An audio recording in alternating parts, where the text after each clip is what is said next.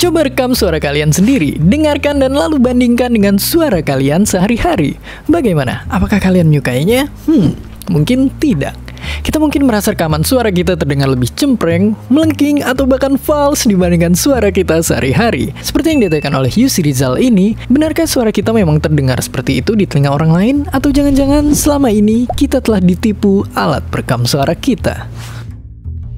Selama alat perekam suara kita tidak rusak, nyatanya memang seperti itulah suara kita terdengar di telinga teman-teman kita. Untuk memahami apa yang sebenarnya terjadi, mari kita mengingat kembali pelajaran IPA. Saat kita bicara, suara kita akan merambat sebagai gelombang di udara. Agar dapat dikenali sebagai suara kita, gelombang tersebut harus melalui perjalanan panjang menuju otak teman kita. Pertama-tama, gelombang ditangkap oleh daun telinga dan disalurkan melalui kanal panjang menuju gendang telinga. Di sinilah gelombang diubah menjadi getaran. Selanjutnya, getaran tersebut harus menjelajahi tiga tulang pendengaran.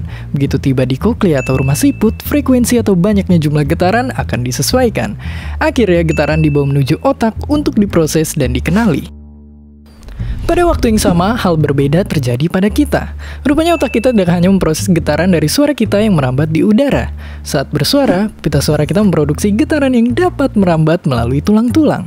Begitu sampai di tengkorak, ruang akustik rongga kepala kita menurunkan frekuensi getaran sebelum dikirim ke sistem pendengaran dalam kita. Akibatnya, otak kita menerjemahkan getaran-getaran tersebut menjadi suara yang lebih ngebas, bulat, dan merdu. Jadi sementara teman kita hanya mendengar dari satu sumber suara, kita mendengar dari perpaduan dua sumber berbeda. Jadi kalau selama ini kita merasa punya suara terindah sedunia, mungkin kita memang cuma besar kepala saja.